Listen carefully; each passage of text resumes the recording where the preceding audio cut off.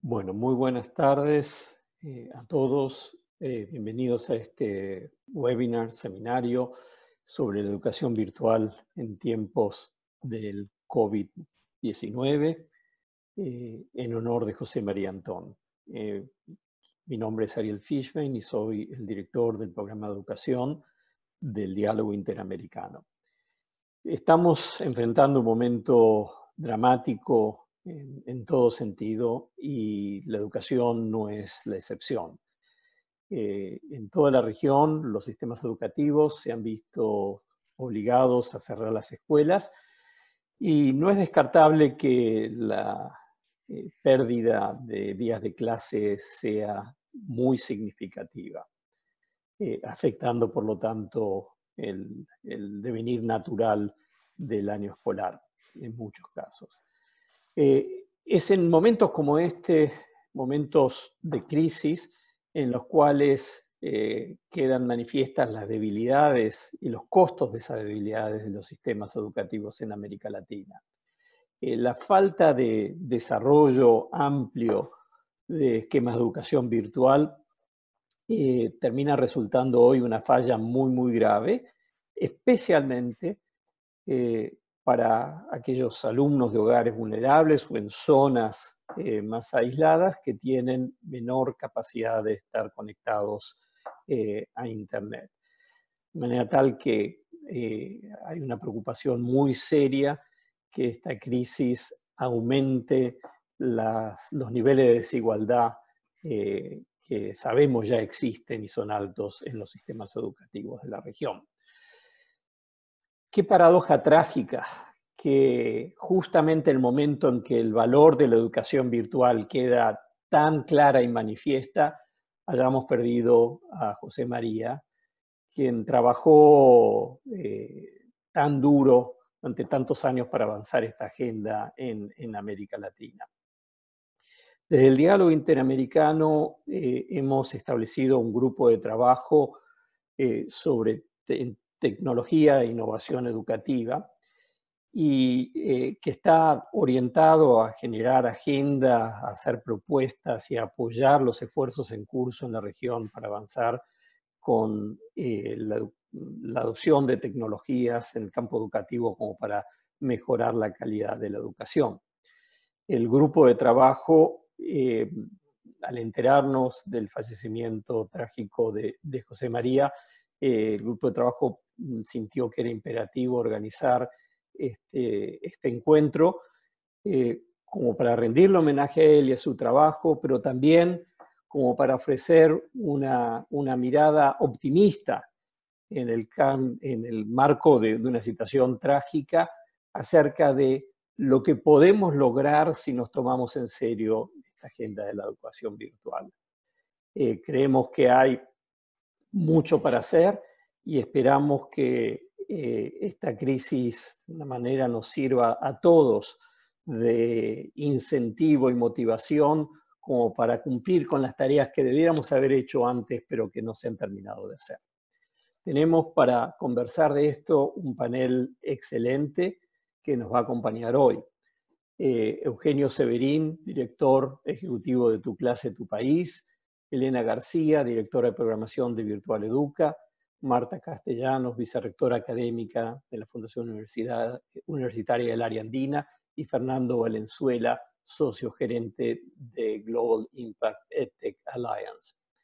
Eh, mm, pero antes de empezar con el panel, le hemos pedido, hemos invitado a Jorge Antón Jornet, que es hermano de José María y gerente de Virtual Educa, que, que nos dirija unas palabras. Eh, vamos a escucharlo a él, después a los panelistas. Y después de escucharlos vamos a tener un espacio como para comentarios, preguntas, conversación eh, con, en, función de, lo que ustedes como participantes eh, nos puedan aportar. lo podrán compartir sus comentarios, preguntas, ya sea a través del chat de, de Zoom o enviando un correo electrónico a meetings.thedialog.org. Eh, por ahora no hemos habilitado el, chat. Yo más adelante eh, les voy a avisar cuándo se habilita, como para que empiecen a, mandar sus comentarios, preguntas. Sin más, lo invito a Jorge a que eh, haga una introducción. Jorge. Muy bien, se me escucha, ¿no? Sí, perfecto. Buenas tardes a todos. En primer lugar, quería agradecer a la iniciativa Diálogo Interamericano y Ariel en particular su invitación, así como la celebración de un webinar en, honor de José María Antón en estos tiempos en los que nos es imposible encontrarnos personalmente. Soy Jorge Antón, gerente de Virtual Educa, pero ante todo soy su hermano, el que lo ha acompañado en los últimos 10 años de Virtual Educa. Las tristes circunstancias han hecho que yo deba tomar el timón en unos momentos muy difíciles. Y hoy aquí ante todos ustedes, en mi nombre y en el de su familia, quisiera recordarle por un instante.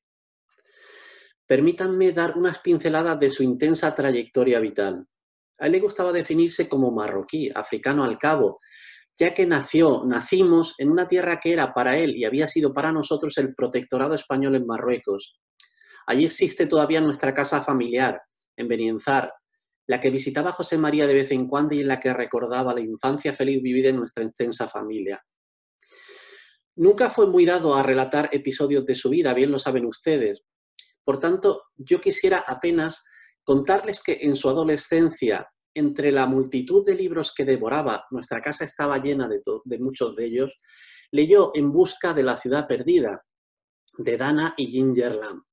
En esta crónica sus autores, quienes formaban una extraordinaria y curiosa pareja de inagotable curiosidad e intrépida inclinación hacia la gran aventura, relataban una audaz expedición en busca de una ciudad maya. Y recordamos que la releyó muchas veces y que esto le hizo creer que en este mundo todo se podía hacer y todo era posible. Realmente no sabemos con certeza pero quizá nadie haya viajado tanto como José María, ni nadie haya visto tantos países ni haya conocido a tantas personas a lo largo de este mundo, y sobre todo en las Américas, un continente que él llevaba en su interior desde siempre y que le hacía sentirse americano y latino. ¿Qué les puedo decir de su trayectoria? Acabó la licenciatura en Lingüística y Literatura comparada en Barcelona, obtuvo plaza de profesor inmediatamente y luego, enseguida, saltó al mundo, un mundo lleno de luces para conquistarlo. Primero en París como secretario general del Liceo Español, tres años, donde obtuvo su maestría en estudios latinoamericanos en la Universidad de la Sorbona. Después Nueva York otros tres años como responsable de los programas de cooperación en el Consulado de España. En Los Ángeles cuatro años como agregado de educación.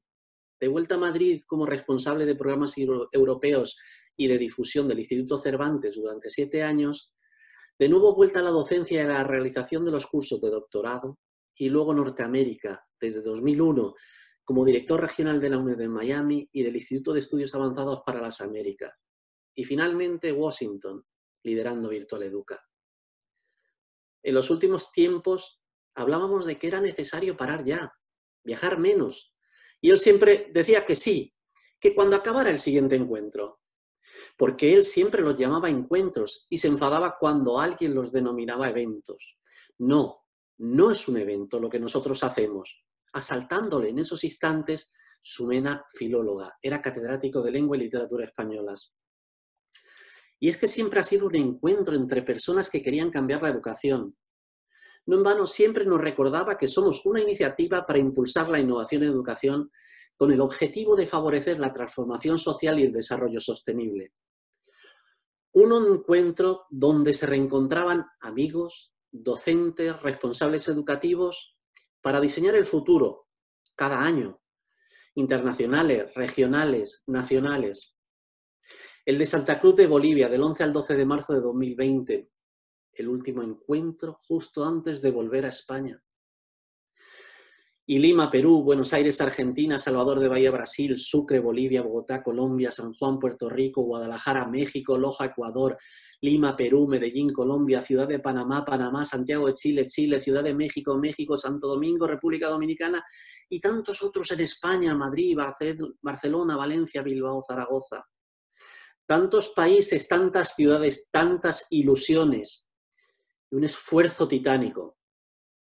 Me decía una persona de nuestro equipo que José María tenía tal capacidad de trabajo que serían necesarias cinco personas para reemplazarlo. Hoy estamos tristes, pues José María, que dedicó toda su vida a la educación, sobre todo en las Américas, se nos ha ido. No creo que haya podido dejar a nadie indiferente. Nadie hizo tanto por dar una voz a la educación en el hemisferio. Se, le se peleó con quien fuera necesario para hacer el mejor de los encuentros en cada país. Y luchó por sacar proyectos adelante, proyectos de inclusión, proyectos innovadores, de futuro. Su planeta 2030 es ahora el proyecto de todos y todas.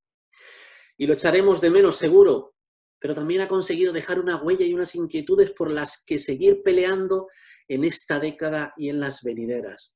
Gobiernos, empresas, sociedad civil, todos en un proyecto de futuro y de vida.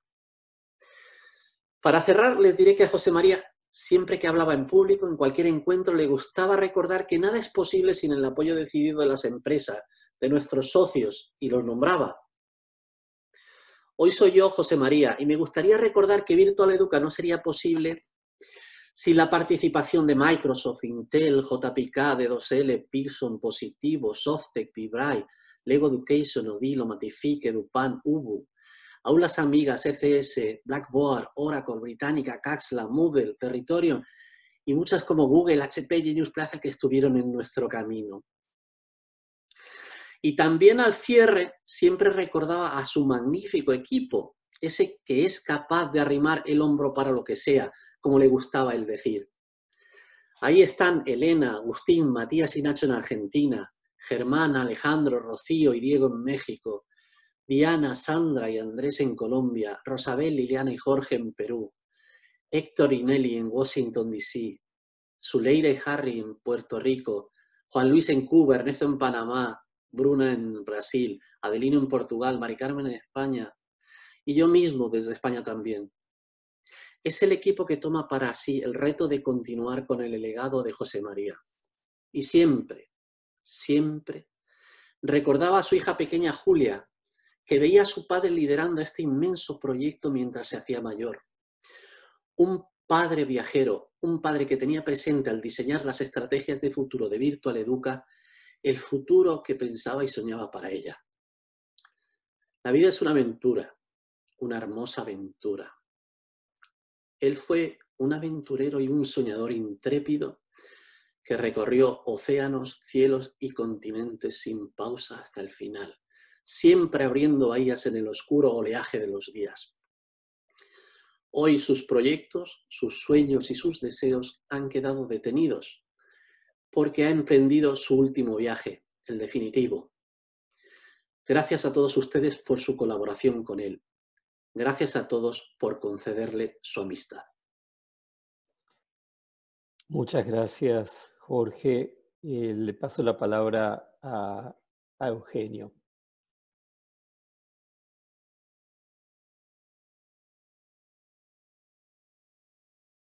Hola, ¿me confirman que se escucha? ¿Sí?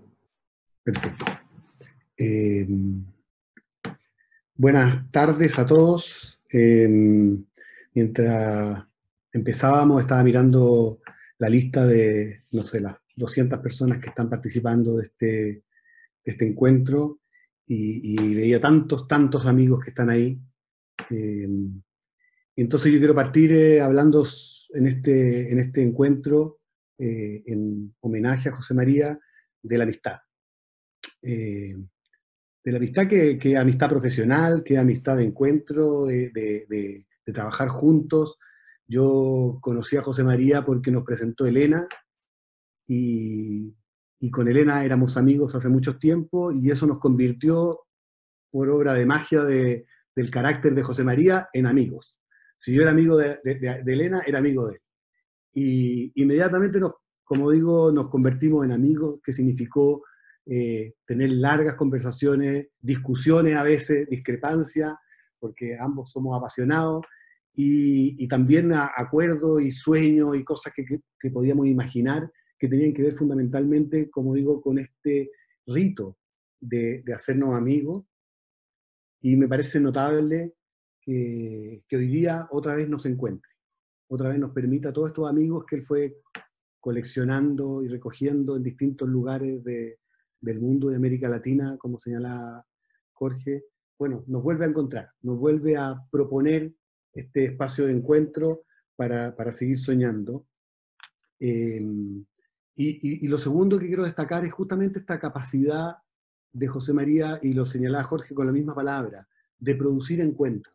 Eh, y, esto, no, por supuesto, me refiero a los encuentros de Virtual Educa, de los cuales los conversamos muchas veces, y yo con la tradicional estupidez de tanto chileno decía, bueno, ¿tendrá, tendrá sentido esto de encontrarse por encontrarse? ¿Por qué no tenemos eh, objetivos más claros y tareas más concretas y indicadores de que lo estamos haciendo bien o no?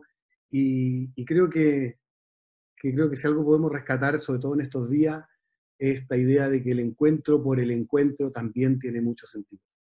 Por el gusto de encontrarnos, por el gusto de compartir, por el gusto de discutir, por el gusto de soñar juntos, por el gusto de volver a encontrarnos, de mirarnos a los ojos, eh, de compartir el camino, de compartir la trinchera, de compartir el ejercicio de soñar. Em, y a propósito de eso, em, yo pensaba como esta idea de la cercanía, ¿no? De, de cuánto cosechaba eso. Yo me acuerdo cuántas veces además José María se entendí, entendía que el encuentro o el rol que él tenía en producir estos encuentros iba más allá incluso de juntarnos en un país o en una ciudad. Yo me acuerdo la cantidad de veces que me llamaba cuando en, el encuentro de Educa y me decía, Eugenio, ven, tienes que hablar con él. Y nos sentaba a conversar y se iba, y nos dejaba ahí conversando con un señor al que yo nunca había visto antes, eh, pero a él le parecía que era importante que nos conociéramos. Y a muchos de los amigos que hoy día están aquí los conocí así, los conocí por estos encuentros y esta vocación eh, de José María y esta habilidad de José María de, crear encuentros y de sostener ritos de amistad. Eh, yo pensaba que, de hecho, a propósito del tema de este encuentro, de la educación virtual, eh, Ariel decía que yo era director de Tu Clase, Tu País, que nos dedicamos a la educación virtual. Mi último contacto con José María fue hace pocas semanas a propósito justamente de eh, cursos virtuales que estamos preparando eh, juntos para desarrollar en México. Y, bueno, el tercer punto tiene que ver con eso, tiene que ver con la visión de José María respecto del futuro. Eh, y sobre todo respecto de eso, destacar la visión siempre optimista de José María, la visión siempre segura de ampliar, de hacer crecer, de cómo llegar a más lugares, cómo llegar a más gente, cómo llegar a donde no llegamos, cómo llegar a los estudiantes que no tienen oportunidades de conexión, cómo llegar a las escuelas rurales, cómo llegar. Siempre esta mirada de, optimista de que podíamos hacer más, eh, de que con la tecnología podíamos contribuir de verdad a una educación más inclusiva, a una educación más justa, más democrática. Eh, y eso es tan importante. Yo quería destacar estos tres conceptos porque hoy día probablemente vivimos tiempos difíciles todos en nuestros países, por, el, por supuesto por el coronavirus, por el aislamiento, pero también por, por tanta situación social, tanta dificultad que, que estamos enfrentando a los, en los comienzos de este siglo XXI, que han llevado a que entre muchas veces en nuestras sociedades se nos imponga más bien la actitud de la desconfianza frente al otro. Y, entonces yo pienso en este José María que, nos, que se convertía en amigo solo porque uno era amigo de otro y que confiaba plenamente en las posibilidades que teníamos de construir y de trabajar juntos. Eh, y en estos tiempos en que vivimos distancia, en que vivimos forzados en la distancia eh, por esta situación, sabemos que José María es el que nos propuso siempre el encuentro. El encuentro real, el encuentro físico, pero también el encuentro de compartir trabajo y, y sueño. Y, finalmente, frente al tema del futuro y del optimismo, eh, que es tan clave frente a estos tiempos de miedo, ¿no? estos tiempos en que, en que a veces hasta, hasta se vuelven a reescuchar ideas de cerrar fronteras, de nacionalismos tontos, de... Bueno, creo que José María es el ejemplo de, de lo contrario, ¿no? De, de, no, de no ver fronteras, de no, no hacer caso del miedo, de encontrarnos, buscarnos y trabajar juntos. Así que eso, quería yo simplemente compartir con ustedes este testimonio de mi experiencia de trabajo con, José María, agradecer al Interamerican Dialogue de Ariel por esta invitación y por esta oportunidad de volver a encontrarnos con la excusa que José María nos da para seguir trabajando y construyendo juntos la educación que él y todos nosotros soñamos para América Latina. Muchas gracias. Muchas gracias, Eugenio. Eh, quiero invitarla a Elena eh, y que mm, ojalá nos pueda dar un poco una reflexión de, desde Virtual Educa, eh, mirando a la situación de la educación virtual en, América Latina hoy y, y, hacia dónde vamos, ¿no? Este, en, este momento donde nos gustaría tener mucho más de lo que tenemos. Elena. Bien, gracias Ariel. Bueno, en primer lugar quiero agradecerte a vos y en tu nombre a todos los integrantes del capítulo de educación del diálogo interamericano por, esta, por este homenaje a José María, por invitarnos y por provocar este encuentro, como bien decía Eugenio, de amigos. Y quiero comenzar un poquito tratando de responder una pregunta que nos hacían muchas veces diciendo, ¿qué es Virtual Educa? ¿Es un proyecto? ¿Es una organización? Y al equipo de Virtual Educa nos gustaba decir que somos una familia. Y además advertíamos a los que se incorporaban, dándole las bienvenidas y diciéndole, bienvenido, bienvenida a esta familia y cuidado que es difícil irse de ella.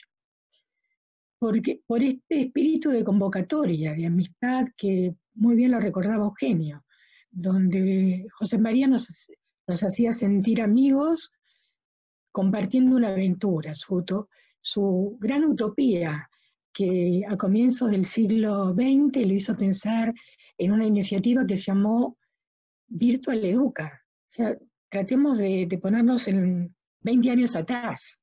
¿Quién hablaba de virtualidad? Recién comenzaba Internet, recién empezamos a suponer que la, la conectividad iba a llegar primero a las universidades, después a las escuelas, pero nunca podíamos soñar una conectividad tan generalizada como la que tenemos ahora.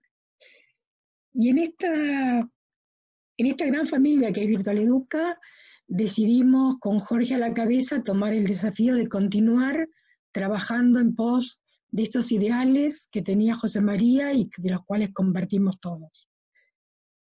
Mi cargo, mi desempeño, mi, actividad en Virtual Educa es ser director de programación. Y ser director de programación en Virtual Educa es, como si dijéramos, es el director académico en otras organizaciones.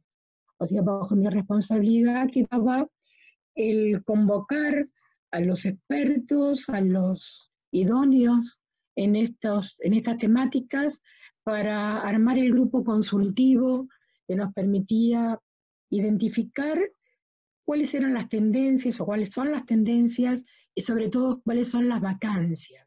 ¿Qué estaba necesitando nuestra educación, la educación de nuestra región, para realmente convertirse en una educación de calidad, en una educación inclusiva, que le diera lugar a todos y a cada uno de los habitantes de esta, esta región y de este mundo, porque desde el año 2017 Virtual Educa se ha globalizado si bien nuestra mayor actividad se da en América Latina y en Iberoamérica.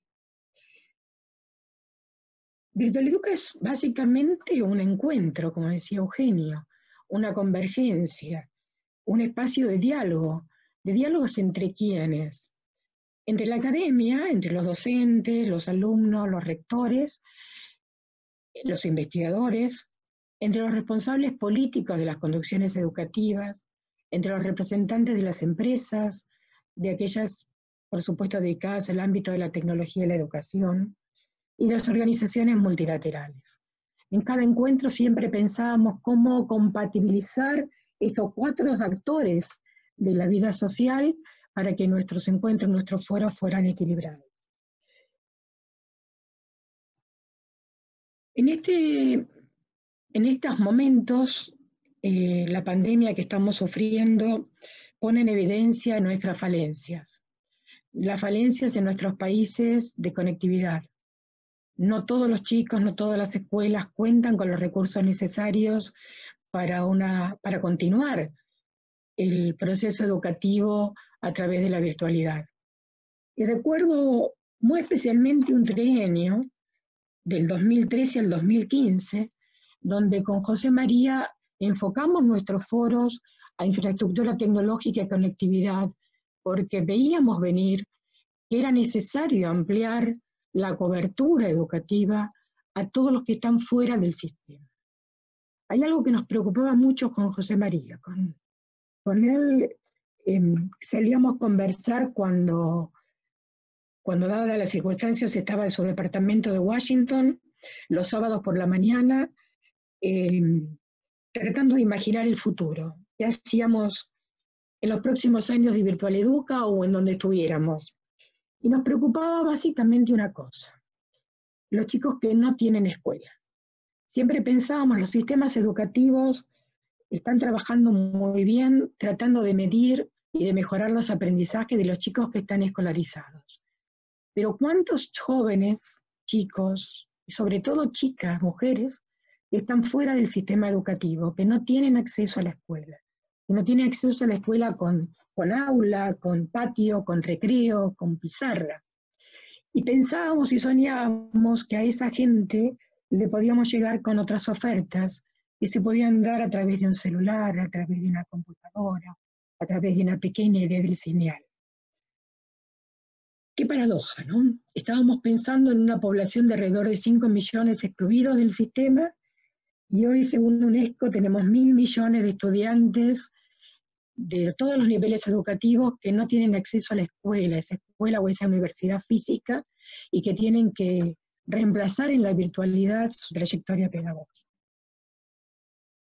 No me puedo imaginar la, la, cantidad de acciones que estaría diseñando José María en esta situación. Estaríamos trabajando no 18, sino 24 horas tratando de dar respuesta a estas demandas, a estas falencias. ¿Qué hizo Virtual Educa o cuál fue el impacto de Virtual Educa en estos años? Más que decirlo, los invito a recorrer la página de Virtual Educa, la, página de nuestra entidad, mm, donde se publicaba todas las acciones que llevábamos a cabo.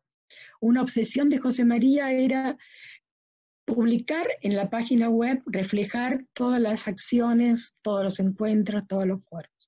Nos repetía y en particular lo sufrió parte de nuestro equipo con Agustín a la cabeza, de que la publicación era imprescindible, de que debíamos además de los encuentros presenciales, los foros o las discusiones grupales, abrir al, al, mundo lo que estábamos haciendo, porque siempre eso era también una enseñanza indirecta y una invitación, una invitación a que se sumaran.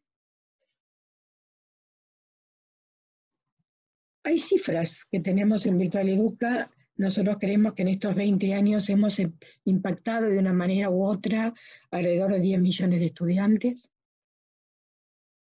Tenemos convenios con más de 40 gobiernos.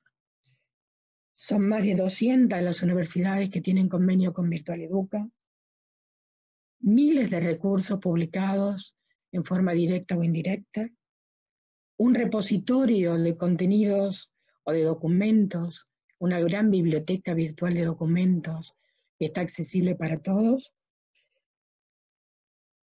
Y a mí me gustaría, y en honor al espíritu de Virtual Educa, hablar del futuro y de cómo estamos pensando con Jorge en la gerencia general estas nuevas, esta nueva etapa de Virtual Educa. Sabemos que los encuentros presenciales y los foros y los y otros tipos de encuentros que solíamos preparar van a ser difíciles en los próximos meses. Los tenemos que reemplazar o complementar con otra clase de encuentros. Estamos pensando en lanzar próximamente una serie de webinars enfocados a distintos tipos de audiencia, que son aquellos que nos siguen, que nos siguen desde hace años. Eh, próximamente van a tener noticias de eso en nuestra página.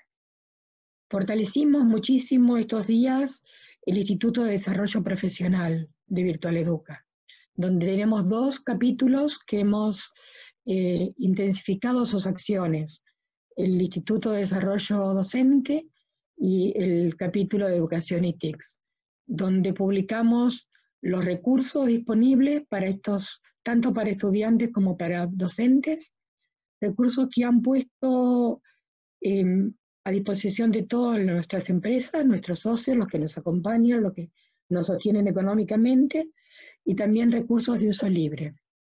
Hemos subido videos, tutoriales para acompañar al docente en esta transformación, como paso de una actividad netamente presencial a, trabajar virtualmente con mis alumnos. ¿Cómo puedo sostener un trayecto pedagógico en estas circunstancias?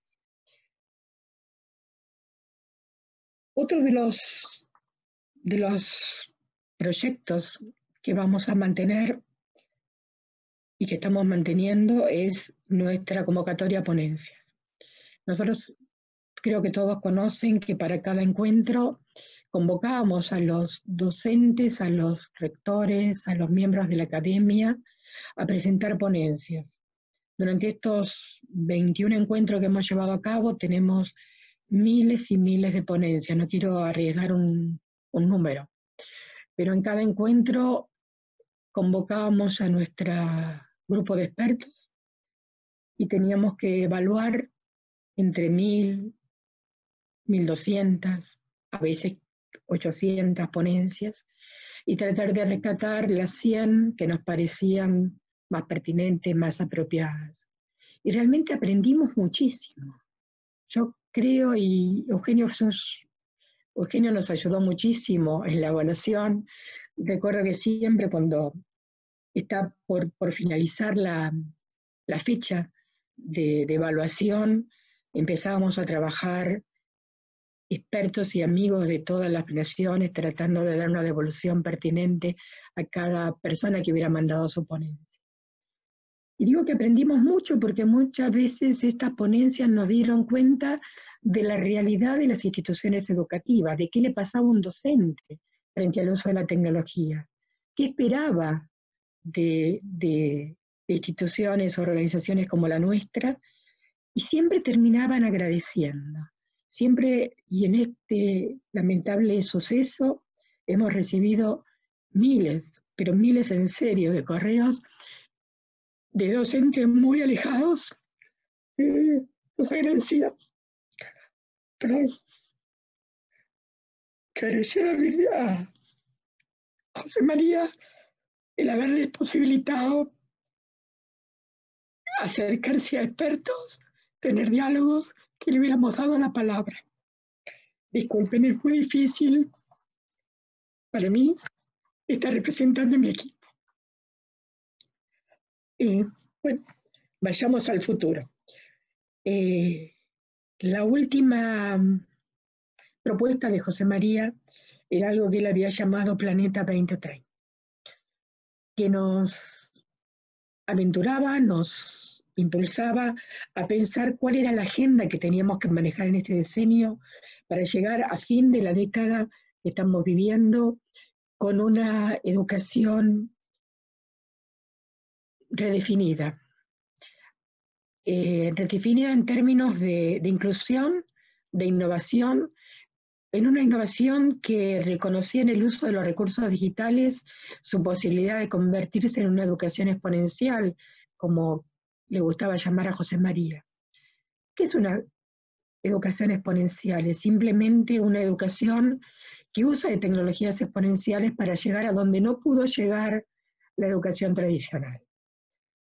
Yo los invito a, acompañarnos en estos próximos años, en estos próximos meses sobre todo, para continuar la labor de Virtual Educa y, y gracias por, la, por soportar estos vacíos que vamos a tener, porque tenemos que reemplazar a un líder inigualable.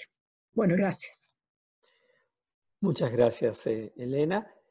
Eh, Ahora invito a Marta eh, a que reflexione sobre la, agenda de políticas eh, públicas, eh, especialmente en este momento tan, tan, tan especial. ¿Qué es lo que hace falta como para que esta visión de, educación virtual realmente sea una realidad para las mayorías y no solamente para los privilegiados? ¿Qué, qué nos está faltando? ¿Qué es lo que, debe estar ocurriendo? Bueno, Ariel, muchas gracias por la invitación y a todos los que nos están acompañando. Efectivamente, vemos muchos amigos, personas con las que hemos trabajado bastante acompañándonos en este seminario. Bueno, José María, adicional a todo lo que han mencionado tanto Jorge, Elena y Eugenio, mm, era un gran visionario. José María fue una persona capaz de poner en la agenda pública una discusión sobre la necesidad de contar con una educación virtual en un momento, como lo decía Elena, en la que eso era absolutamente, primero, impensable, bizarro y sobre todo completamente complejo. Eh, José María no se cansó de ir por distintos países con diferentes tipos de encuentros, hablando de cómo unir agendas, de cómo trabajar con sectores de la economía completamente distanciados, se podría pensar el uno del otro, e invitarlos a que la educación eh, a través de medios y herramientas virtuales fuera una realidad. José María, adicional a ello, fue capaz de eh, flexibilizarse, adaptarse a las circunstancias. Él empieza a hablar en un principio, y, no me dejan equivocar ni Jorge ni, ni Elena, por favor, cuando él empieza a liderar una discusión muy importante sobre los, eh, en su momento, los ocho eh, objetivos del milenio. Después él empieza a hablar sobre la eh, sociedad del conocimiento, posterior a ello a la revolución digital, luego empieza a hablar sobre la cuarta revolución industrial, después pasa a hablar precisamente sobre todos estos modelos disruptivos que nos podían llevar a una transformación real. Em, pero lo más relevante de todo este ejercicio, José María, es que él tiene un propósito, más allá de la educación por la educación o del uso de las tecnologías por el uso de las tecnologías, era el desarrollo humano. Y él era un convencido de que ese desarrollo humano se podía lograr a través eh, de esa incursión en tecnologías, de esa virtualidad. Y él tenía una frase que a mí me impactó muchísimo. Eh, yo tuve la oportunidad de trabajar con José María y pues con todo el equipo de Virtual Educa alrededor de un año en el ejercicio del encuentro aquí en Bogotá. Y él siempre hablaba de un elemento que me llamaba muy, muchísimo la atención y era todas las posibilidades que tenía la educación virtual para romper esas brechas sociales y económicas y cómo los países latinoamericanos no se podían quedar detrás de ese ejercicio, cómo debíamos a través de la educación virtual eh, eliminar esos esquemas de inequidades tan profundas que tenemos en América Latina. Entonces eso lleva a que José María empiece a gestar, digamos, por una primera etapa, eh, eh, el posicionarse como un referente en América Latina y el Caribe, hablando de la transformación social eh, gracias a una innovación. Después empieza a crear los foros multilaterales en los cuales era increíble ver mandatarios, presidentes, vicepresidentes, ministros de educación, de tecnología, de ciencia, tecnología e innovación, junto con docentes, con empresarios, con sociedad civil, reflexionando en un mismo ejercicio en cómo poder llevar el Internet y estas herramientas a sitios nunca antes vistos. José María tenía una particularidad eh, que a mí me impresionaba mucho y era su obsesión en llevar el acceso de la educación a todos los rincones de Latinoamérica. Pero sobre todo algo muy importante y era el pensarse en una educación de calidad. Él siempre decía, la, educación virtual o por escenarios y herramientas virtuales no demerita la función de transformación que debe tener la educación, no demerita la calidad que debe tener eh, estas, estas herramientas y, sobre todo la posibilidad de crear nuevos escenarios. Entonces ahí es cuando nosotros encontramos que dentro de esas políticas que José María empieza a fomentar mm, con todo su equipo, por supuesto, empieza a dejar unos espacios muy interesantes eh, en los que discute cómo es tan importante la alfabetización digital. Hoy en día a nosotros nos parece eh, pues increíble que se hable de la alfabetización digital, pero gracias a esta crisis que estamos viviendo, vemos que la alfabetización digital, que consideramos que en muchos países ya había sido superada, resulta que nos lleva eh, y nos pone contra la pared ante una realidad que países que han estado teniendo políticas muy importantes en digitalización, pues todavía tienen unos retos, sobre todo en la educación, en cómo llegar a unos escenarios alejados, eh, algunos escenarios en los cuales no alcanzamos a cubrir a la totalidad de, los, estudiantes y aún más de, algunos maestros. Eh, empieza a generar también unas políticas de cómo debemos tener ese acceso eh, permanente al uso del Internet y eh, José María empieza también, eh, no solamente por conferencias que él da, no solamente en los escenarios de los encuentros, sino también en documentos que se plasman dentro del mismo Virtual Educa, a hablar de ese propósito tan importante y lo deja como un legado para políticas educativas que quiero ahora resumir. Él empieza a hablar de la necesidad de definir un propósito claro del uso de herramientas tecnológicas en la educación.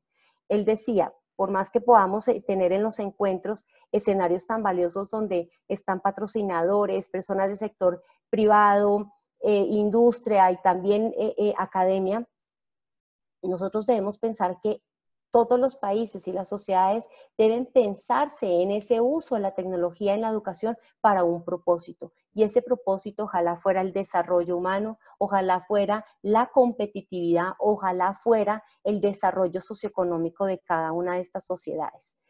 Él eh, siempre lideró un ejercicio muy valioso y lo vemos en la cantidad tan gigantesca que encontrábamos de docentes en los distintos encuentros de Virtual Educa. Él siempre hablaba de la necesidad de contar con el trabajo del docente. Si no se lograba contar al docente dentro de estas estrategias, que el docente eh, tuviera unas tácticas innovadoras y disruptivas, pero sobre todo de llevar al docente a entenderle el potencial de las tecnologías y cómo a través de este uso de tecnologías el docente podría de alguna manera motivar al estudiante. Y con esto, eh, por supuesto, estoy hablando no solamente del docente de la escuela básica, media, sino también de la, de la educación superior. Entonces, cómo poder tener herramientas con las cuales el docente pudiera tener una práctica de aula, inclusive por fuera de ella, mucho más interesante. Y prueba de ello es que en los encuentros de Virtual Educa uno podía estar eh, rodeado sobre todo de docentes, tanto del sector privado como del sector público, eh, docentes de universidades, de escuelas, y mm, de hecho Virtual Educa se convierte en un escenario excelente de exposición de prácticas disruptivas Hoy por hoy muchísimos docentes recuerdan a Virtual Educa porque tuvieron la oportunidad de llevar ponencias, de exponerlas, de tener debates con compañeros, inclusive diferencias en las aproximaciones y se volvió el encuentro de Virtual Educa un, escenario maravilloso para poder gestar estos tipos de, de prácticas disruptivas. Otro escenario que recomendó José María en muchos de sus encuentros era el enfocar todo este andamiaje de la educación hacia el aprendizaje del estudiante. No en vano, eh, José María invitaba a, hablar a los makers, a eh, entender al estudiante qué quería, cómo aproximarse de una mejor manera a sus procesos de aprendizaje y qué le podía generar anclaje al estudiante y sobre todo un aprendizaje significativo. Para que todo esto pudiera ser relevante y sobre todo cuantificable con impactos claros, se recomendó en muchas instancias de Virtual Educa la posibilidad de generar una adaptación del currículo. Y en los últimos años, José María empieza a liderar un ejercicio muy valioso y es el desarrollo de competencias básicas y de, perdón, de competencias eh, blandas que pudiera generar ese, esa gran diferenciación de los sistemas, eh, de la automatización eh, frente a lo que debería ser el desarrollo humano. Como gracias precisamente al ejercicio que hace el Foro Económico Mundial en el que dice que va a haber alrededor de unos 60 millones de estudiantes eh, y de, personas que no van a tener, digamos, acceso al trabajo, como eso mezclado con unos objetivos de desarrollo sostenible al 2030, inclusive pensándose en que había más de 260 millones de estudiantes por fuera del sistema educativo básico en el mundo, cómo todo ello lo teníamos que combinar para poder sacar el mejor ser humano que pudiera aprovechar las tecnologías, no competir con las tecnologías, sino hacer lo que las tecnologías no eran capaces de hacer, como la creatividad, como la capacidad de pasar de una economía del conocimiento a una economía creativa, como la capacidad de aprovechar esos momentos de concentración que tienen los estudiantes y a partir de esos momentos poder generar unos modelos disruptivos de, aprendizaje. Otro elemento que viene eh, Virtual Educa a tener un liderazgo muy importante, sobre todo en los últimos cinco años, es hablar de los proyectos de aprendizajes basados en problemas y el aprender haciendo. Mm, y allí José, eh, José María deja una inquietud muy interesante en los encuentros de abrir espacios para que se hagan reflexiones al respecto, nuevas formas de acercarse al conocimiento, lo deja como una recomendación de política educativa. Inclusive José María eh, tiene la osadía, si me permiten la expresión, de hablarle a los gobiernos y decirles, hoy en día estamos ante unas generaciones que están buscando el emprendimiento.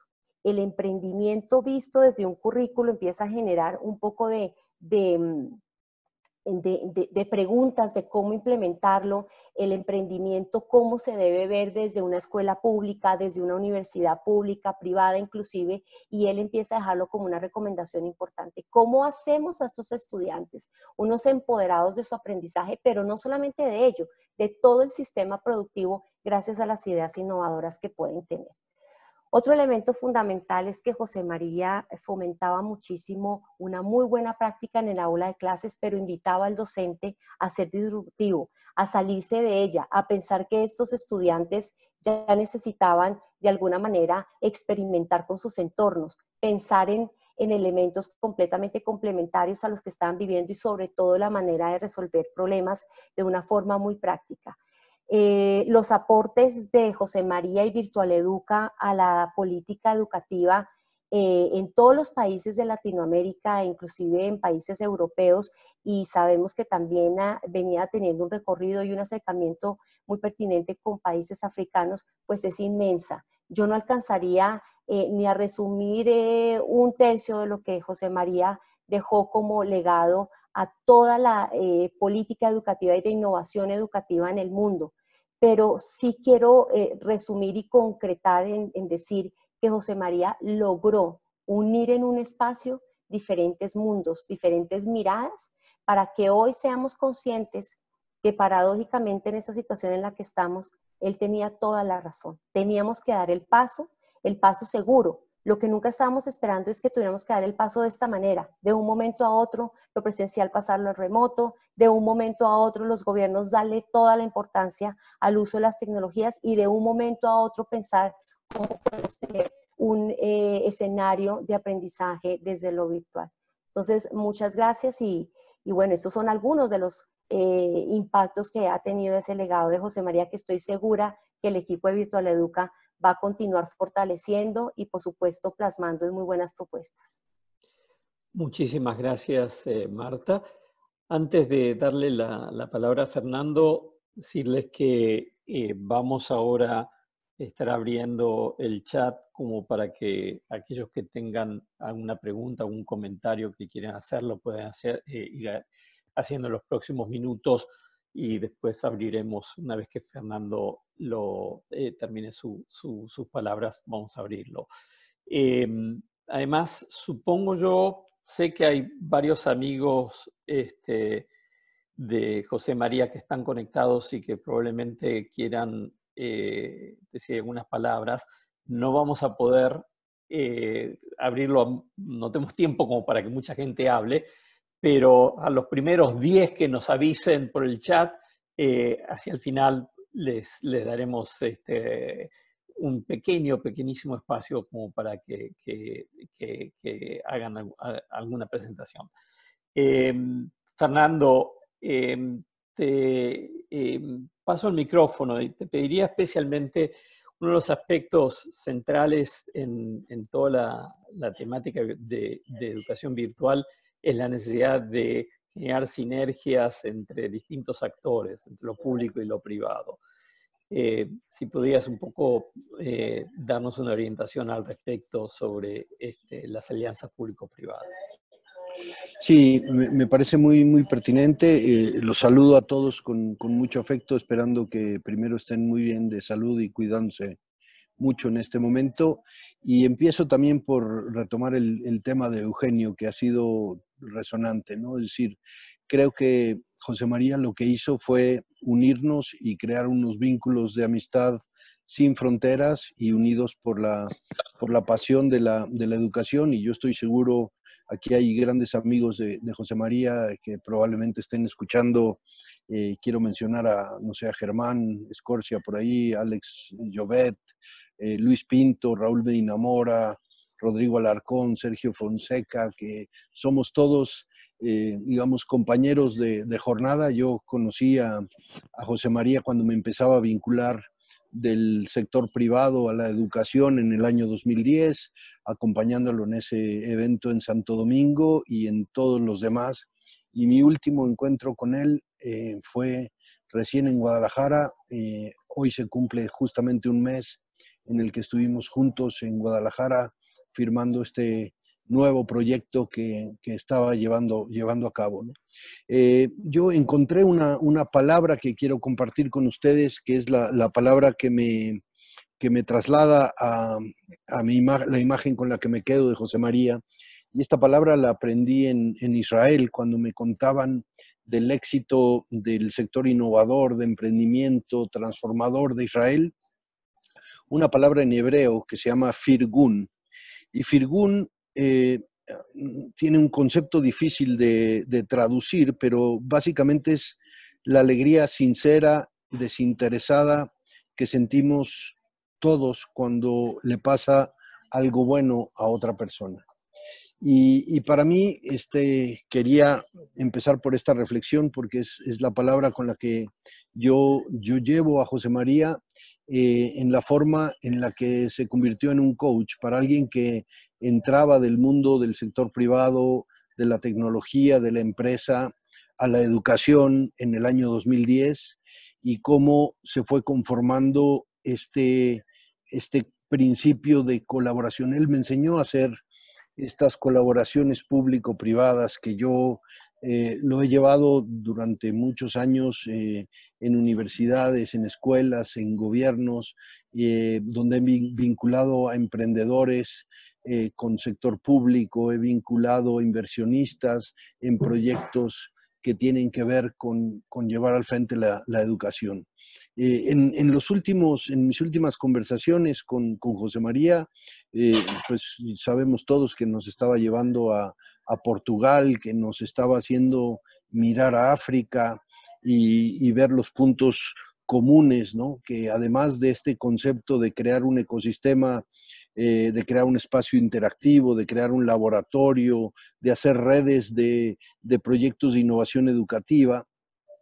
Y, empezó con esta mirada de la educación exponencial, una educación que se alineaba con esta nueva transformación, eh, estos nuevos entornos de proteger el planeta, de pensar en azul, de crear ciudadanía digital, las habilidades del siglo XXI, eh, código, este, redes de STEM, eh, las pop-up schools que también hizo la Universidad 2030, eh, la, la, Ciudad 2030. Entonces, creo yo que todos estos, estos principios con los cuales nos hacía eh, pensar siempre en este otro concepto que, que trajo mucho en, en, sus definiciones, que era regresar al, al, presente.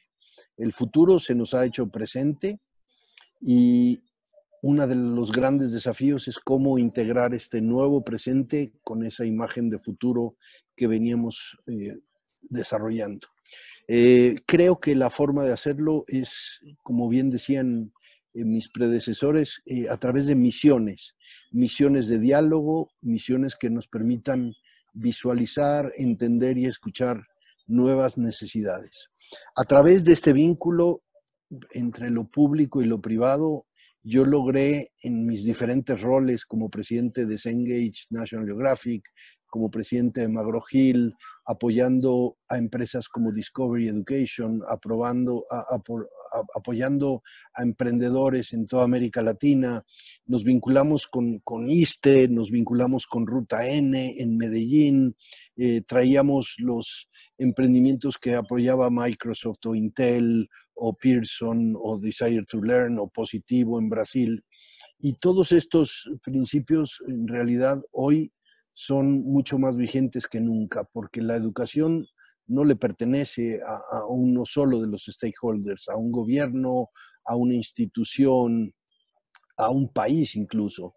La educación entendida como un sistema complejo que tiene muchos stakeholders, muchos componentes y que todos esos necesitan una mirada de diseño distinto. Y el diseño es ese diseño del 2030 hacia acá, de regresar del futuro y traerlo al presente, de encontrar estas actividades que tenemos que hacer hoy para que ese futuro al que aspiramos y que hoy nos está transformando a todos se haga realidad.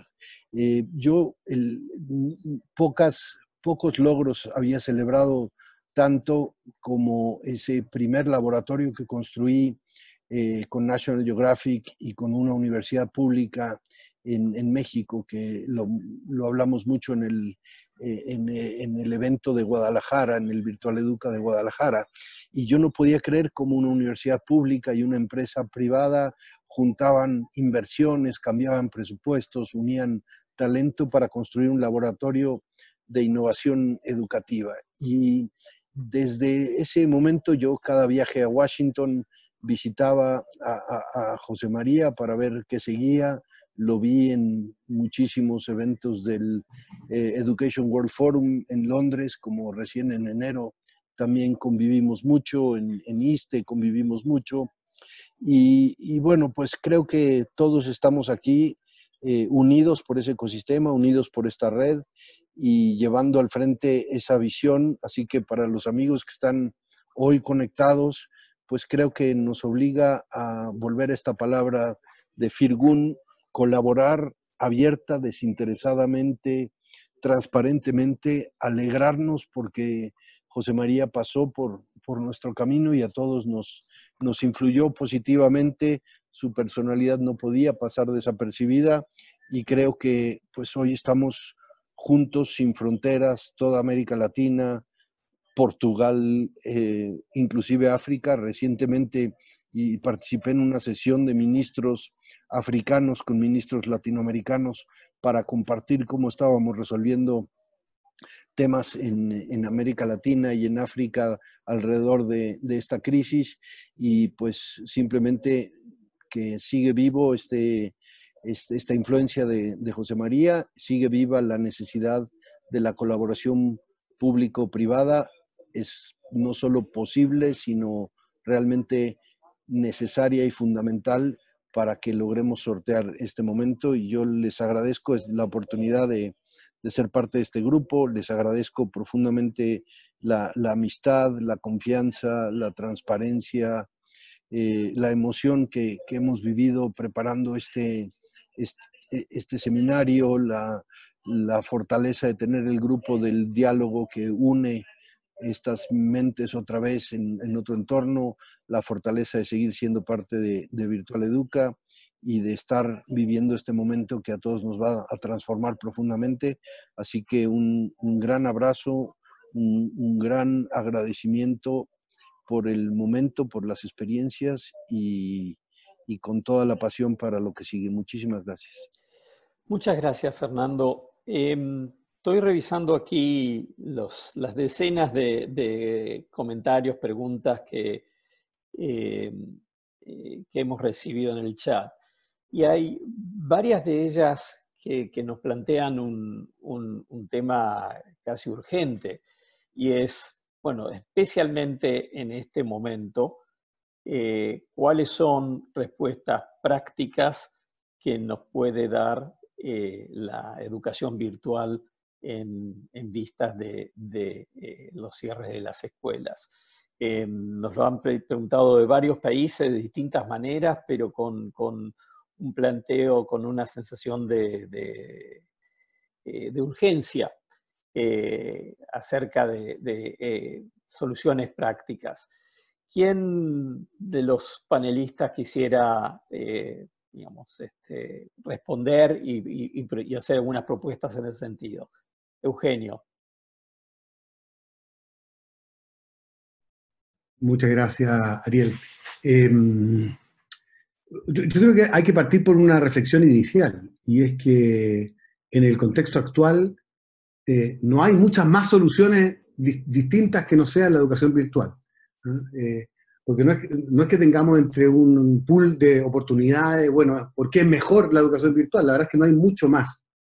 Eh, tal vez algo de la radio, algo de televisión en, alguna, en algunas partes, pero si queremos pensar en soluciones masivas, eh, en, un contexto sobre todo en que se extiendan eh, las dificultades que hoy día tenemos de, de, acceso a la escuela y a los edificios y al encuentro, la verdad es que la educación virtual es, es prácticamente la única solución viable, me parece a mí en términos de por lo menos sostener una experiencia interactiva, eh, donde los estudiantes no solo reciban información, sino que hemos luchado tanto tiempo por una educación eh, activa, donde los estudiantes tengan un rol participativo, colaborador, y, no hay otra solución que no sea a través de la educación virtual.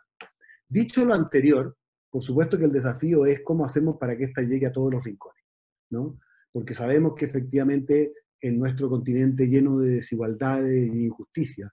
Eh, la educación, la, conectividad y la distribución, la distribución de dispositivos creo que algo lo hemos resuelto mejor o se ha resuelto por la vida de los accesos a teléfonos celulares, por lo tanto, primera condición es que cualquier solución tiene que funcionar bien en teléfonos celulares, de manera que pueda llegar más allá, pero además tenemos problemas serios de conectividad, sobre todo en las zonas rurales o en las zonas marginales.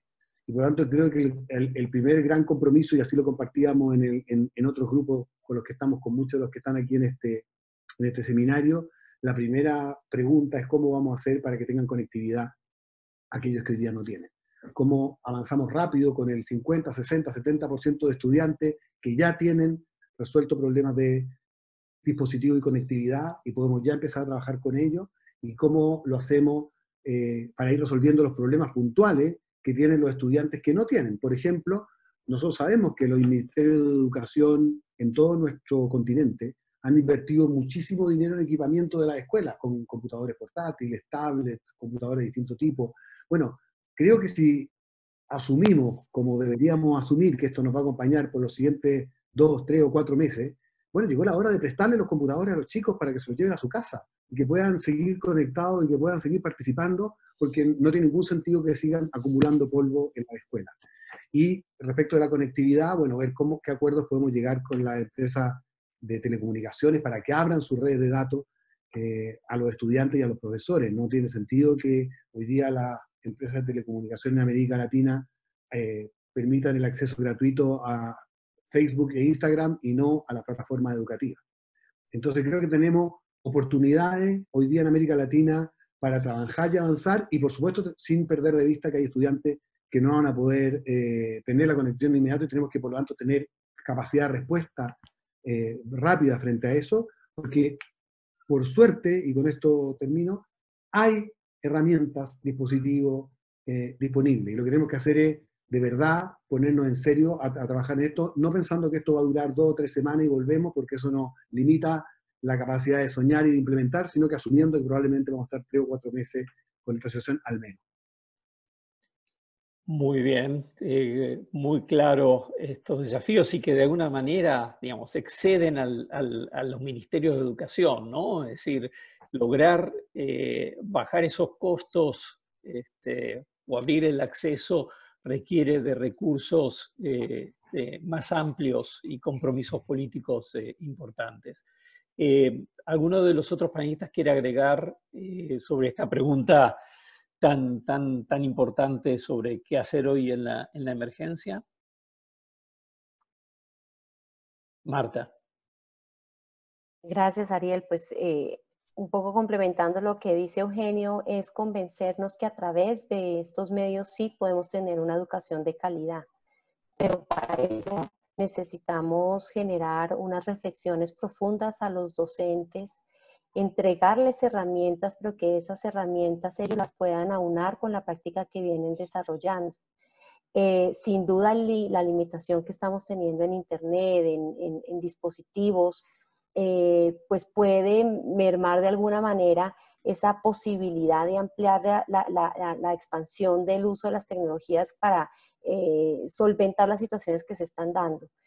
Pero también tenemos que porque la idea no es tener un modelo tradicional volcado a un ejercicio remoto, sino que, como lo dice Eugenio, estamos en pero sí que tenemos que acomodarnos en entender cómo podemos ajustar prácticas, cómo podemos ayudar a los ministerios. Por eso, eh, Fernando, cuando habla de este ejercicio público-privado que tanto fomentaba José María, es importante ejecutarlo, sacarlo digamos, del escritorio y ponerlo sobre la mesa y decir, bueno, esto cómo lo vamos a hacer, cómo lo vamos a concretar, porque es que aquí no estamos hablando de un mes de, un ejercicio de este con este pueden ser varios meses, inclusive no lo sabemos. Se supone que los países que llevan la delantera en este ejercicio todavía están en cuarentena. También hay otro elemento importante, cómo empoderamos a los padres de familia para que los padres de familia también ayuden en ese proceso que muchas veces le hemos dejado al 100% a, a, manos de los docentes y este es el momento en el que nos ha tocado entender que los docentes eh, que, que creíamos y ahora cómo nosotros acompañamos esa labor. Sí, se puede, Ariel, perdón, se puede implementar. Sí, muy rápidamente. Yo creo que los, los cómo igual de este momento tienen que ver por ordenar este caos y este sistema complejo. ¿no? Y, uno de los elementos que yo he visto que ha tenido éxito es eh, ordenarnos en temas como la comunicación, no perder la relación entre los docentes y los alumnos con los padres en, en el medio dependiendo del rol que jueguen. Otro es el tema del contenido, ya, o sea, el balance entre seguir un currículum o enseñar otras habilidades y promover la enseñanza del respeto y las habilidades emocionales.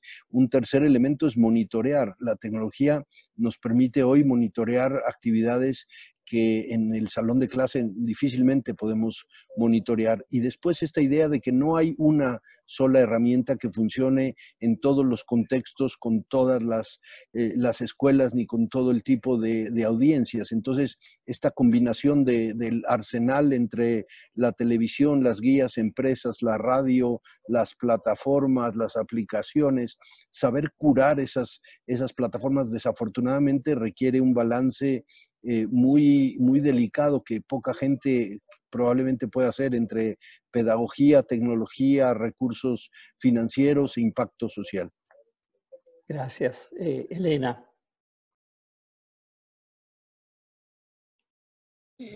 Sí, agregando a lo que dijeron mis colegas, quiero dedicarle unos, unas palabritas al nuevo rol de los directivos.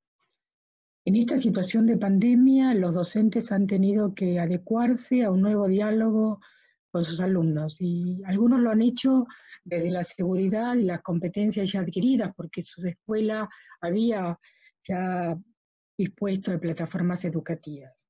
En otras escuelas no, no era así.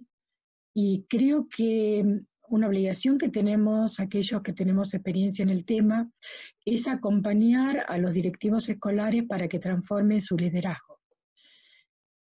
Uno sabe que cuando recorre escuelas, la calidad educativa depende mucho del equipo de conducción y además de la calidad de los docentes. En este momento que es imprescindible no capacitar, sino acompañar al docente en su transformación, también es necesario acompañar a, los directores de escuela a, cambiar su rol, a animarlos, a, cambiar las formas en que normalmente eh, supervisaban el proceso educativo. Y creo que ahí tenemos un gran desafío todos los que tenemos experiencia en uso de tecnología en educación. Eh, Elena, aprovecho para eh, hacerte una pregunta, transmitirte una pregunta eh, de uno de los participantes. acerca de qué va a pasar con la conferencia, el encuentro de Virtual Educa 2020 en Lisboa. Bueno, en principio la hemos postergado. Estamos eh, conversando con el gobierno de Portugal, la estamos previendo para fines de octubre, noviembre. Eh, hay que esperar un poco qué pasa con esta pandemia para poder eh, sostener una fecha cierta. en principio, desde la página de Virtual Educa estamos comunicando esa postergación y en pocos días vamos a dar un nuevo calendario para la aceptación de ponencias. Pero seguimos apostando a poder desarrollar Virtual Educa en Lisboa, Guadalajara también, eran los dos eventos que teníamos programados para este año, los dos encuentros, y, y bueno, y estamos viendo algunas otras acciones presenciales que teníamos en la agenda, cómo las transformamos. Pero sí seguimos trabajando para Lisboa 2020. Bueno, muchas gracias. Quiero darle la palabra, nos pidió la palabra eh, Emiliana Vegas, que quería compartir algunos, este, algunas reflexiones. Eh, Emiliana.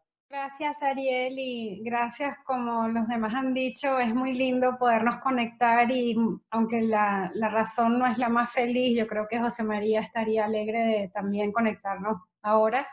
Eh, saludar especialmente a Jorge, y, por favor envíales también nuestros cariños a Julia. Aparte de todo lo que se ha dicho de José María, yo creo que él era un ser humano muy, muy humano y siempre compartía las alegrías y cómo Julia estaba creciendo y, lo, su personalidad, que entiendo es bastante, bastante fuerte, no me sorprende. Eh, y bueno, quería aprovechar, la verdad es que todos estamos viviendo esta pandemia de distintas formas. Eh, yo ahora en Brookings, una de las cosas que, que, hace poco en que te cambié con José María, hace probablemente mes y medio después de Londres, que nos vimos allá con Fernando y varios más, eh, fue, la, él ya había conversado con Brookings eh, sobre una posible eh, asociación y partnership sobre el tema de Planeta 2030 y ya habíamos avanzado y ya yo lo estaba procesando, entonces contar que esperamos poder seguir colaborando también con ustedes y y un abrazo especial para Elena eh, y para el equipo que siempre ha sido tan competente y tan apoyador y un gusto haber trabajado con ustedes, con todos ustedes durante tantos años. Gracias. Gracias, eh, Emiliana. Eh, mirando las preguntas, hay, hay, nuevamente un par de, temas que aparecen de manera repetida en, los comentarios, las preguntas. Uno es el tema de los docentes y, eh, cómo motivarlos y ayudarlos a que realmente eh, no solo adopten las, las tecnologías, sino que se capaciten para hacerlo.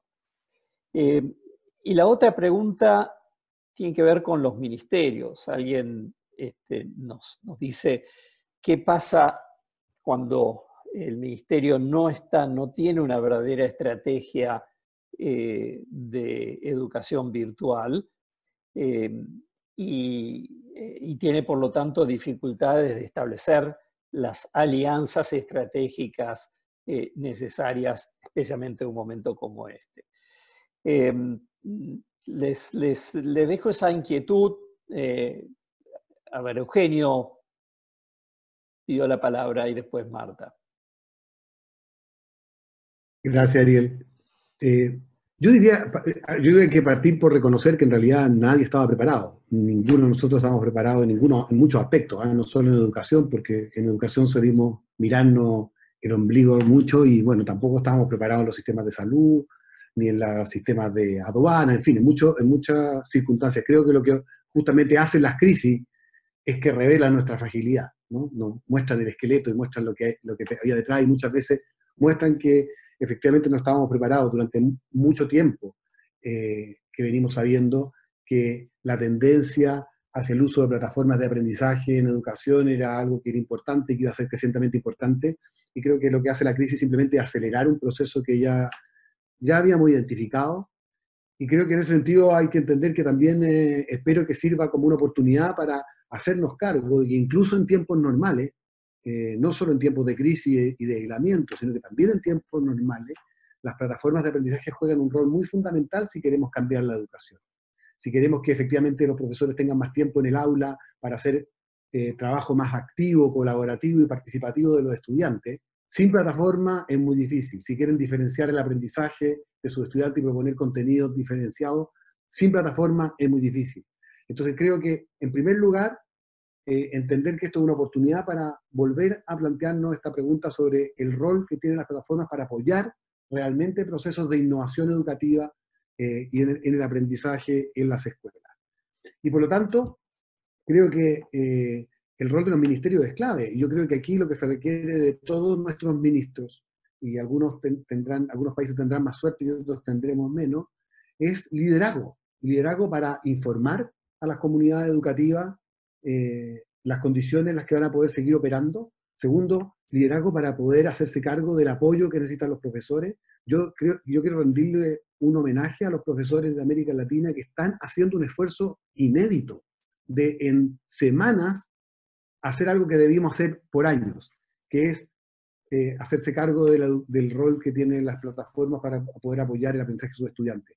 La mayoría de los profesores de América Latina está haciendo eso de manera espontánea, esforzada, comprometida con el aprendizaje de sus estudiantes y creo que eso es un tremendo aporte eh, de los profesores y eso requiere el liderazgo del ministerio para apoyarlo, para darles capacitación, darle acceso a las herramientas y a, la conectividad. Y liderazgo para interactuar con la empresa privada, con otras eh, organizaciones, con otros ministerios y asegurarse que entonces van a estar las condiciones para que esto pueda ocurrir. Y a mí me importa mucho insistir en esto porque otra vez, esto no es un problema que se vaya a resolver en dos o tres semanas. Eh, vamos a estar meses, si no un par de años, y van a venir otras crisis. Y vamos a volver a preguntarnos por qué no invertimos en buenas plataformas, buena conectividad y buena capacitación para los profesores para que pudieran hacerlo. Este es el momento de, de poner sobre la mesa el que no va a haber un aprendizaje activo, participativo, innovador de los estudiantes, sino de verdad le damos espacio a que la tecnología apoye el trabajo de los profesores y el diseño de las prácticas educativas. Muy bien, gracias. Marta. Pues lo primero es eh, evidenciar lo que tanto se ha venido diciendo, que estamos en un mundo buca, eh, lleno de incertidumbre, cambio constante, vulnerable, eh, al cual nunca le hemos, hemos comprendido en su totalidad. Y esta crisis sí que nos demostró que eso es cierto, que realmente no podemos hacer planes ni siquiera a dos años, yo que tuve la oportunidad de trabajar con el plan decenal de educación, uno hoy en día piensa, planes de 10 años son muy interesantes, proyectarse de mediano plazo sin duda, pero sí que uno tiene que empezar a mirar más eh, de, corto y, mediano plazo con un horizonte que le permita a uno hacer ajustes en el, en el hoy para poder prepararse ante esas situaciones. Em, esto definitivamente nos está llevando a entender que ante esta situación tan compleja que estamos eh, teniendo, lo mejor que podemos estar haciendo es mantener la educación viva, el sistema educativo vivo. Nosotros no podemos cesar acá, parar actividades simplemente porque estamos en una crisis. Cuando salgamos de esta situación, ¿qué va a pasar? Gente sin empleo, gente sin educación, estudiantes con eh, semestres eh, eh, con retraso o estudiantes que simplemente no continuaron estudiando, en vez de sacarle el provecho y un poco en la línea de lo que comenta Eugenio, aprovechemos las circunstancias, replanteémonos qué herramientas le damos a los docentes. Y, y, me uno a la felicitación que hace Eugenio y al reconocimiento a los docentes. Nosotros que desde Ariandina tenemos más de 1.500 docentes y gran parte de ellos, muchos de ellos estaban ya trabajando con un modelo virtual, pero los que venían en un modelo presencial, les ha tocado hacer ajustes increíbles, porque lo que es innovador en presencial no necesariamente es innovador en virtual. Y ellos en muy poco tiempo han logrado hacer cosas maravillosas. Entonces, aquí es el rédito para una sociedad de saber que por más que tenemos unas condiciones completamente eh, llenas de incertidumbre, por lo menos estamos sosteniendo el sistema educativo y en eso tenemos que acompañar a los ministerios de educación. ¿Cómo? Pensándonos en herramientas alternativas, eh, pensando en prácticas disruptivas, cómo también apoyamos al estudiante. El estudiante, por más que se la pase conectado a redes sociales, una cosa es estar en Instagram, en, en, todas estas redes. Y otra cosa muy diferente es estudiar eh, bajo circunstancias virtuales. Entonces, también cómo le damos a los, estudiantes unos tips, eh, empezando con estas sencillas como llevar una hora. Una disciplina diaria, como eh, hacemos que su, que su docente pueda trabajar con él. Muchas gracias, Marta. Fernando y después Elena. Gracias. Eh, bueno, yo quería compartir una, una, experiencia muy, muy práctica que en, estos últimos 10 días eh, yo he estado haciendo un programa de conferencias, llevamos más de 4.000 docentes en, toda América Latina, en, un programa que los lleva por cinco fases, ¿no? Una fase que le llamé irreversible, un poco tocando este camino de que esto no es temporal y no es para resolver una coyuntura, sino que esto va a permanecer y requiere un cambio de mindset y lo importante no es la tecnología, sino la mentalidad del docente, el cambio de rol del docente, las funciones y la conexión que tienen que hacer con este nuevo futuro. Una siguiente sesión que tiene que ver con cómo se ve el talento desde, desde el mundo productivo, desde la empresa, en un entorno de recuperación económica que va a ser brutal en casi todos los países y qué habilidades son las relevantes. Después, una, una mirada al, al design thinking en educación, al rediseño de componentes eh, después una mirada ya muy práctica a la transición de qué cosas de la experiencia presencial son válidas y cuáles no en la educación eh, online y finalmente una sesión que habla de las herramientas de la arquitectura, de la ciberseguridad, de los riesgos, de la privacidad. Y entonces, eh, pues yo quería compartir esto porque ha, sido muy interesante la experiencia, el, diseño de estas cinco conferencias y, y, de nuevo llevamos más de 4.000 eh, profesores y sigue toda la semana y toda la próxima semana con este tipo de componentes prácticos que creo que están haciendo un, buen impacto. Elena. Sí, yo quería recordar algunas acciones que lleva adelante Virtual Educa, donde siempre hemos potenciado los, las comunidades, las comunidades, las redes. Y recuerdo que mi, mi primer contacto con, con José María fue cuando coordinaba la red de portales latinoamericanos, RELPE, un, proyecto en el que también compartimos experiencias grandes con Eugenio, y, y habíamos conformado la, la, red de responsables de portales educativos y teníamos un espacio en los encuentros Virtual Educa. En este momento Virtual Educa sostiene una red es la red de responsables de proyectos de innovación con uso de tecnología, que aúna a los responsables de lo que podríamos llamar las, los departamentos o las direcciones de informática y educación de los distintos ministerios. Seguimos manteniendo contacto con ellos, estamos ahora viendo cómo podemos volver a reunirnos en estas circunstancias y compartir las experiencias que cada país está llevando a cabo en estas situaciones muy especiales. Y otras dos redes que estábamos conformando en, este en estos momentos era la red de STEAM, con, donde estamos trabajando fuertemente con la gente de las sociedades de enseñanza de la ciencia. Está Gualesca Segura de Guatemala comandando esto.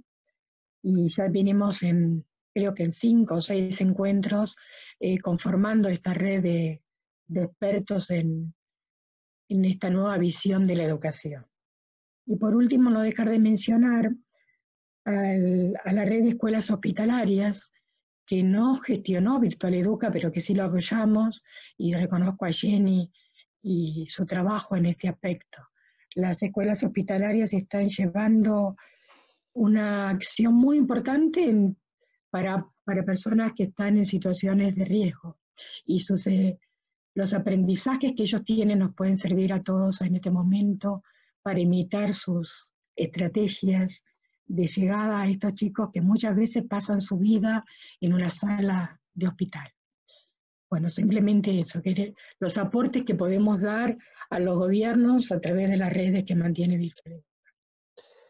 Bueno, eh, estamos llegando al final de la este, eh, conferencia, de la videoconferencia, así que em, vamos a, ir cerrando. Nos quedaron muchas preguntas y comentarios sin responder y que no vamos a poder responder hoy, pero que por un lado hay muchos comentarios de, realmente de reconocimiento y aprecio a eh, José María y su legado, y por otro lado un, listado amplio de, consultas, de ideas de, cómo implementar eh, la educación virtual, lo cual nos reafirma que este es un tema eh, central, que hay mucho trabajo por hacer.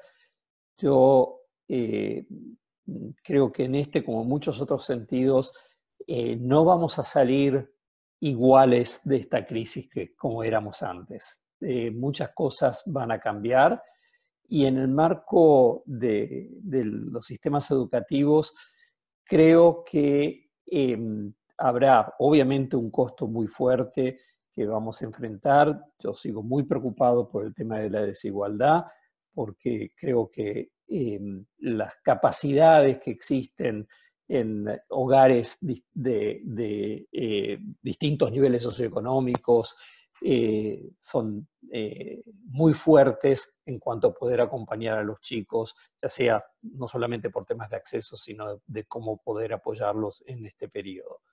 Dicho eso, creo que sí se abre ahora un espacio que quizás no existía antes de la crisis, de transformar la agenda de educación virtual y de manera más amplia del uso de tecnologías, eh, no en un lujo, no en eh, un tema marginal, sino un tema central eh, para la transformación educativa. Y está en nosotros el saber aprovechar ese momento y esta oportunidad para empujarla. desde el diálogo interamericano y a través del grupo de trabajo, del cual varios de los panelistas son miembros, Estamos comprometidos a seguir avanzando esta agenda. Los invitamos a que visiten la página de Educación del Diálogo donde están los documentos que emite el grupo de trabajo eh, y, aportarnos con, ideas, con sugerencias, con propuestas, eh, porque creo que este va a ser el momento para dar el, salto cualitativo. Em, les agradezco nuevamente a, todos, em, a los panelistas y a todos los, participantes em, y seguimos en contacto. Un fuerte abrazo a todos.